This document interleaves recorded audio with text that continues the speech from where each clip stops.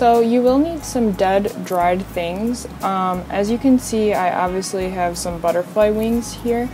Um, I just want to put a quick little disclaimer that all of the insect parts, the wings, I found naturally. Um, they were already dead. Of course, I would never harm a butterfly just for art. Like, the thought of that makes me sick. And if please don't do that if you want to. If you want to do that tutorial, this tutorial, um, please do not harm any insects. Um, plants, you know, is a little different because they are, uh, they don't, you know, I don't know. I don't really want to go into that, but but obviously you will need some dead things. Um, a lot of these I just gathered around my town, or my friend knows I was collecting stuff, so she'll find cool stuff and bring them to me.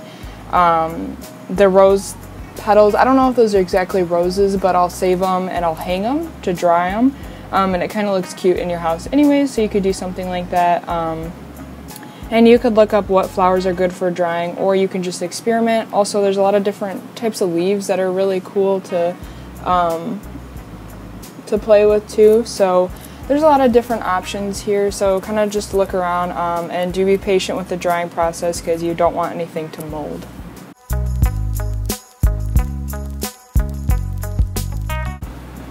Okay, so you will need a laminator, and sorry for the gross band-aid on my hand. I know it's not cute.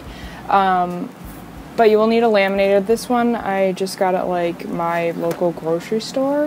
Um, I think it was only like 20 bucks. You can get a cheap one. You don't need a high-end one. Um, they're really affordable, and you can use it for a lot of different things besides just making bookmarks. So.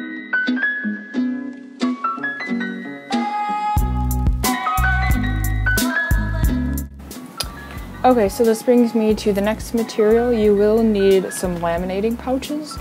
Um, you can get these really cheap off Amazon. I'll try to leave a link down below. Um, they come with a hundred and I'll put the price somewhere because I can't remember off the top of my head. And then these ones just came with the printer I got, or I had to buy them separately, but they were like in the same aisle. And these are five by seven. Um, there's four by sixes as well. Um, the bookmarks I'm going to be making today are 2x7, so the 5x7s will work, and with these ones, with both of them, I will just have to cut them to the 2x7 size. Um, this next tool might be not necessary um, for me to put in here because I believe most of you should have this, but you'll need some basic tools like a ruler and a pair of scissors, and I will probably be using a paper cutter as well, but if you don't have that, you can just use a pair of scissors.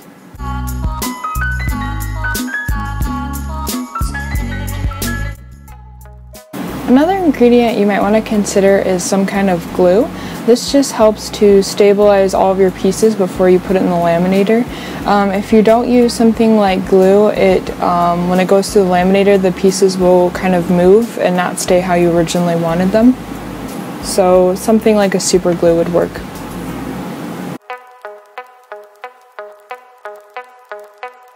And this is kind of silly, but you will need some creativity. Um, I don't know if glittery stars represent creativity, but there is a comp compositional curve to it, um, just meaning what looks good with what and what colors. Um, maybe I could do a whole nother video on that, but just color theory in general. Um, you can look up complementary colors, which just means colors that will look good together. So, for example, it's red and green, orange and blue, and yellow and purple. And I'll try to put that on screen somewhere. So those colors will make those colors pop. Um, and then there's things like size difference, and I'll get into that a little bit when I'm creating a few.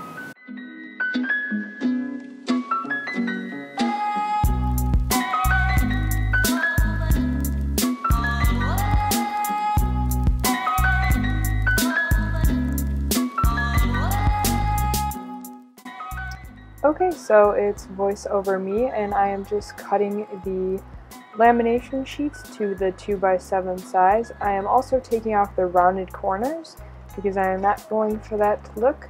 Um, and then I'm just going to tape down the sides. This is so that the sheet of plastic won't move around on me.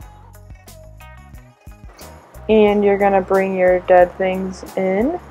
And you're going to place them, like I said, in a way that is compositionally appealing. Um, so really don't aim for symmetry, just aim for a really natural, um, interesting pattern.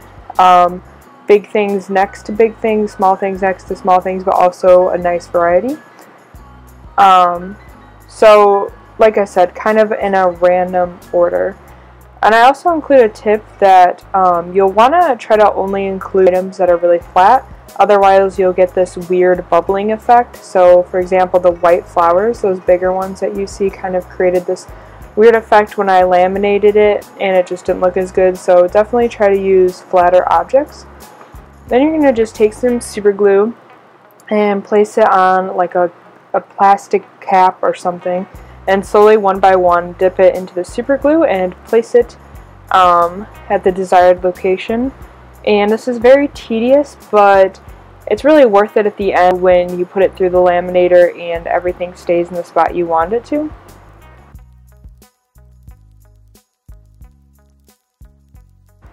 And then I just mentioned the blowing test. It's as simple as just blowing on the bookmark and making sure nothing moves. If something does move, just reapply it again, reapply the glue.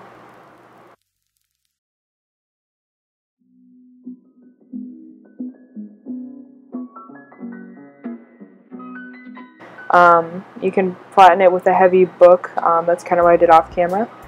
And always insert it with the pre-laminated edge first. And this tip's super important, but always insert it with a piece of paper behind it. Here I did not, and I did not in the next one.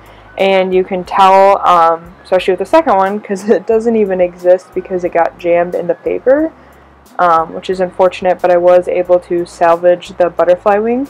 Um, so just make sure you're inserting with a piece of paper so that it doesn't jam your laminator and burn up and ruin it like it almost did with mine.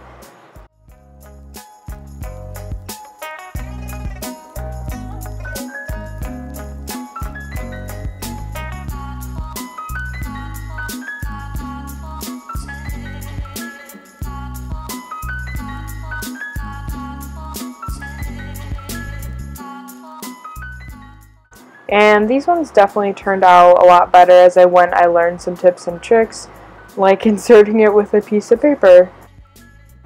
But yeah, the the the bookmarks I did towards the end are much better than the ones I did at the first. The first ones are kind of like the guinea pigs.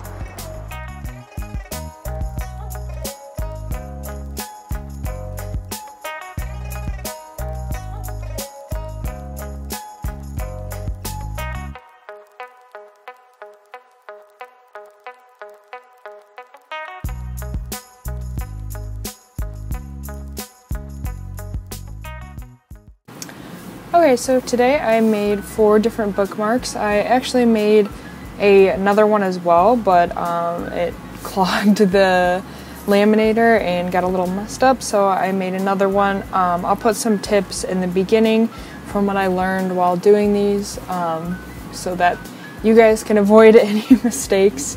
Um, overall, I am pretty happy with all of them.